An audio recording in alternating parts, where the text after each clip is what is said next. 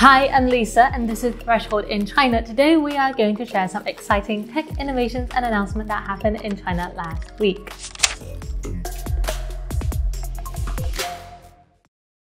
Chinese scientists have developed a new technique that could make even the most advanced submarines easier to detect.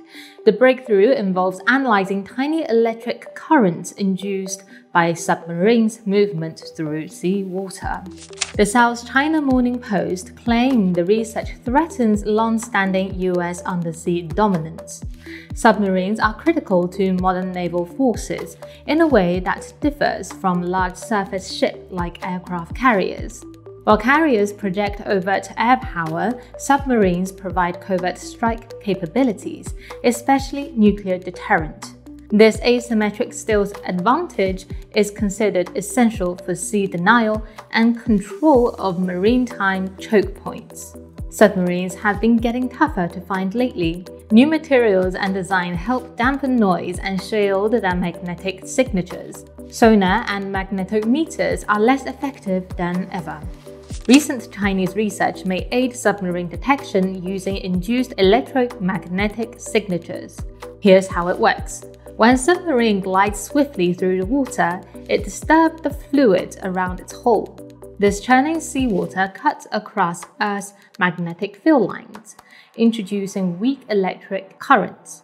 The currents create faint electromagnetic signatures, especially ripples in the ocean's natural energy field. Unlike sounds or magnetism coming from the sub itself, these ripple effects depend solely on water flow pattern. Submarine speed, shape, orientation, and cavitation all contribute unique detectable signals. Cavitation refers to the bubbling caused by pressure changes along the hull, and it is a crucial factor. As trailing bubbles oscillate, collapse, and detach, they churn up complex turbulence. This dynamic process generates especially strong electromagnetic field oscillations. By analyzing time, frequency patterns, and strengths of these oscillations, researchers can potentially identify submarine types and track their movements. It is a big advancement over conventional method. Sonar can be defeated with sound dampening technologies. Magnetometers are fooled by non-magnetic hull materials. But the laws of physics means any fast-moving underwater object can create flow disturbance and induce electromagnetic ripples. China's new system provides a way to exploit this phenomenon. It combines advanced sensor with smart software to extract submarine signatures from background ocean energy. The team has successfully detected signals from multiple distance and conditions. Yet, the breakthrough has limitations too. Turbulence and noise complicate signal analysis, and stationary or slow-moving submarines are practically invisible to this method. Much more research is needed to perfect and implement this technology, but it's clear that this new detection concept is poised to drive innovation. Undersea warfare may never be the same.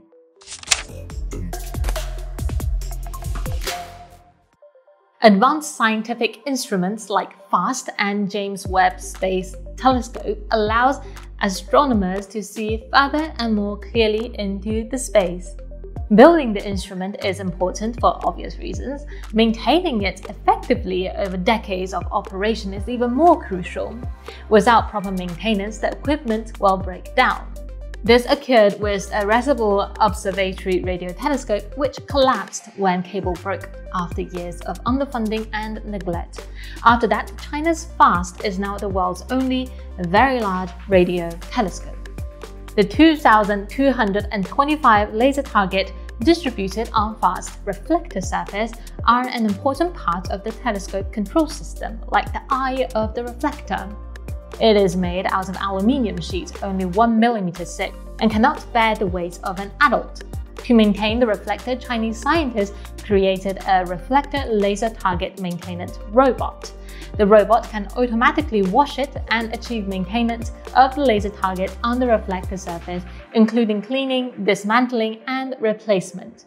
The scientists figured out how to get the robot moving all over a FAST curved dish in all directions. They also developed ways for the robot to see and measure its surroundings in 3D, with complex reflections and shapes.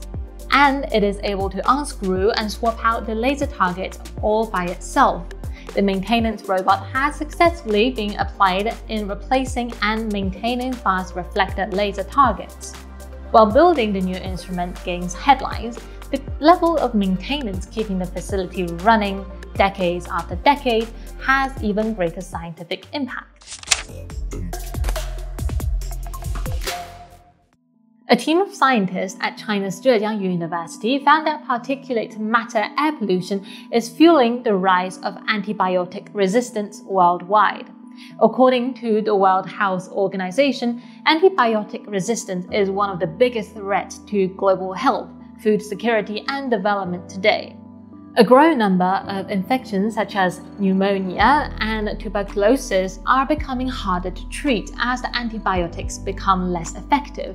Meanwhile, airborne PM2.5 pollution, which consists of tiny particles with a diameter of 2.5 micrometers or less, is also a growing concern that affects millions around the world. These particles can come from various sources such as emissions from cars and factories, wildfire, etc. Exposure to PM2.5 has been linked to various health problems such as respiratory and cardiovascular disease as well as increased mortality rates. The WHO estimates that in 2016, around 4.2 million deaths globally are attributed to the exposure of ambient PM2.5 pollution. And these two challenges the world are facing today somehow are intertwined with each other. The researchers analyzed data from 116 countries over nearly 20 years, finding significant links between PM2.5 levels and the antibiotic resistance. The particles can transmit resistant bacteria and genes to humans and animals by inhaling and ingestion. Once inside the body, these bacteria are harder to treat with conventional antibiotics. PM2.5 pollution impairs immune function, creating an environment ripe for resistant infections to take place and spread.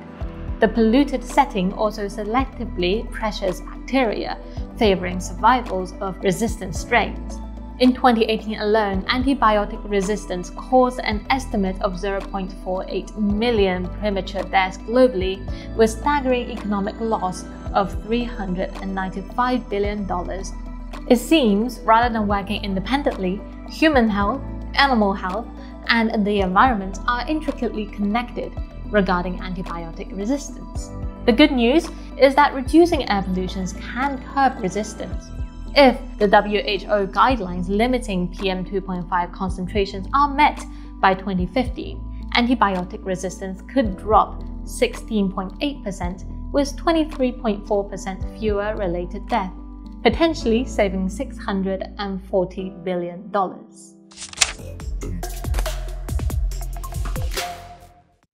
The rising geopolitical tensions are jeopardizing human space exploration. Indian scientists developed an astrophysics device called SING. The $50,000 instrument will be mounted on the Chinese space station Tiangong, marking the first collaboration between India and China in space. It is supposed to scan the sky in the ultraviolet waveband as it orbits the Earth and help us to understand the composition and behavior of interstellar gas and the birth and death of stars. With the International Space Station set to retire in 2031, Tiangong will become the only orbital outpost. China has welcomed world cooperation and 27 nations proposed experiments.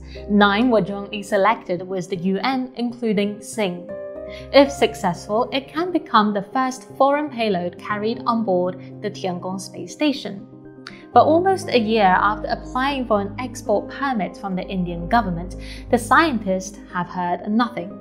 The project leader says that SING is now sitting in a clean room ready to launch. It is unclear if Sing will make it to China this year. With launch costs covered by China, it is an opportunity Indian scientists are hoping to seize for the benefit of space science. But without the approval from the Indian Ministry of External Affairs, it remains grounded by the gravity of geopolitics. And that is all for today's Threshold. As always, please let us know if you like this new section on science and technology in China, and we'll do more in the future.